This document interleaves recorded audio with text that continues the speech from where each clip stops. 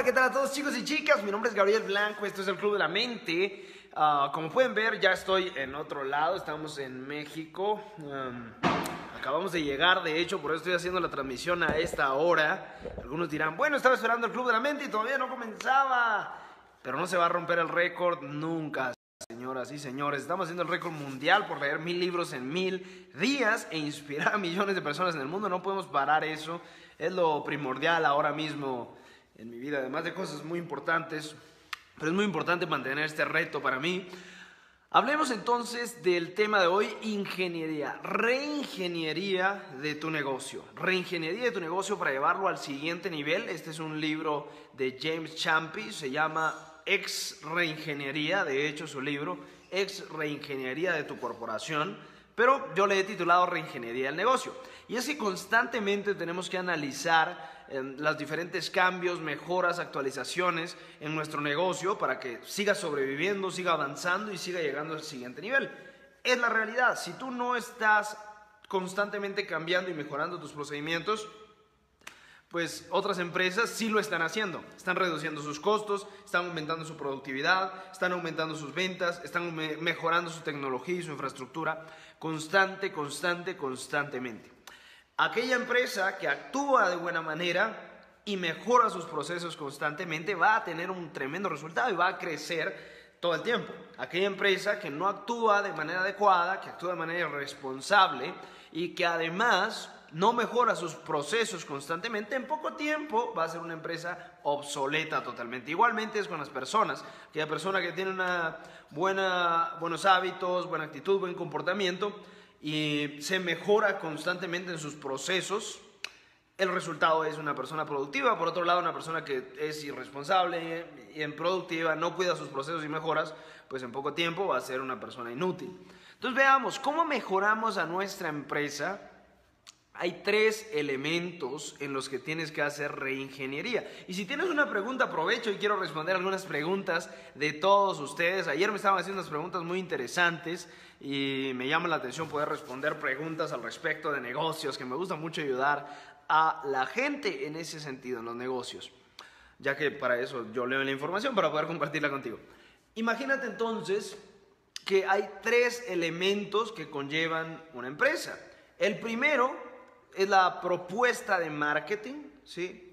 El segundo son tus sistemas de venta y el tercero son los procesos internos. Anótalos. El primero es la propuesta de marketing, el segundo son tus sistemas de venta y el tercero son los procesos internos. Si tú aprendes a mejorar eso y hacer una reingeniería para que cada vez cada uno de estos sea mejor y mejor y mejor, eso es lo que conforma tu empresa. La verdad es eh, los, los, procesos de venta para poder generar, más bien los procesos internos, que son todo el funcionamiento, cómo lleva la empresa, pero por otro lado existen pues los sistemas de venta y la propuesta de marketing. La propuesta de marketing atrae personas interesadas, los procesos de venta convierte a esas personas interesadas en clientes y los procesos internos hacen que la empresa pueda entregar el producto de manera adecuada y realmente mantenerse operando con productividad y eficiencia. Fíjate entonces qué importante es saber analizar y hacer una reingeniería de los procesos de tu empresa. Lo más interesante es que muchísimos empresarios y emprendedores ni siquiera conocen que estos son los tres procesos que debes analizar o las tres áreas de tu empresa. La propuesta de marketing, los sistemas de ventas y los procesos internos. Es lo que constantemente, según este autor James Champy, debes analizar y obviamente tiene todo el sentido del mundo. Te pregunto entonces, ¿tú ya tienes claro cuáles son esos tres elementos en tu empresa y cómo funcionan? Primero, tu propuesta de marketing, es decir, ¿qué es lo que estás ofreciendo? ¿A qué mercados distintos lo estás ofreciendo?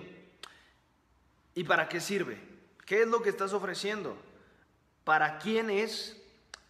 ¿Y para qué sirve? Eso es una propuesta de marketing en, lo más sencillo posible. ¿sí? Digamos que yo lo estoy ofreciendo como ahora de hecho nosotros hicimos el catálogo que tenemos hasta el momento de todos los productos y servicios que ofrecemos y primero dijimos quién es nuestro mercado objetivo, como le llaman algunos. El mercado objetivo es pues emprendedores, empresarios, networkers, y ah, también influencers y personas que quieren ser marca personal famosa. Entonces, emprendedores, empresarios, networkers y también influencers. Esos son a las personas que llegamos. A los emprendedores les podemos ayudar a crear sus negocios y a generar ingresos con diferentes modelos de negocios que nosotros tenemos. A los empresarios les podemos ayudar a incrementar las ventas con asesorías, servicios, creación de material, creación de marketing, estrategia o servicios distintos para generación de nuevos prospectos. A los networkers les podemos ayudar, de hecho en el último año he trabajado para mucha gente de network marketing, yo no estoy en network marketing como tal, ni es mi industria en concreto, pero sí apoyo a muchos líderes de diferentes network marketing, incluso a muchos dueños de diferentes empresas de network marketing, a crear sus sistemas automatizados para generar prospectos constantemente hacia sus negocios, para generar personas que les estén diciendo, hey, yo quiero ser, yo quiero ser, yo quiero ser parte de este negocio. Y por último, estamos hablando de influencers y profesionales que quieren conseguir clientes, ya sea de manera individual o vender sus propios infoproductos digitales. Cuando hacemos todo esto en conjunto, decimos que tenemos una propuesta de marketing clara. Somos una empresa que ayuda a las personas a vender sus productos y servicios por Internet a través de conocimientos y servicios diversos para emprendedores, empresarios, networkers y influencers que quieran sacar sus productos a la venta. Fíjate entonces, eso es una propuesta de marketing clara. ¿Tú tienes una propuesta de marketing así de clara? Si no la tienes, debes diseñarla. Y si la tienes, ojalá puedas hacer una reingeniería. Esto que yo te acabo de decir es algo que recién estoy diseñando. Sin embargo, yo he tenido una propuesta de marketing clara siempre, pero debemos hacer una reingeniería constante para pulir la, pulir el hacha, literalmente, pulir la manera en la cual estamos llegando hacia los prospectos. Luego de esto, hablemos de la optimización de los procesos de venta, que fue la segunda cuestión que te dije. Primero, optimización de tus propuestas de marketing. Segundo, optimización de tus procesos de venta. ¿Cuáles son los procesos de venta?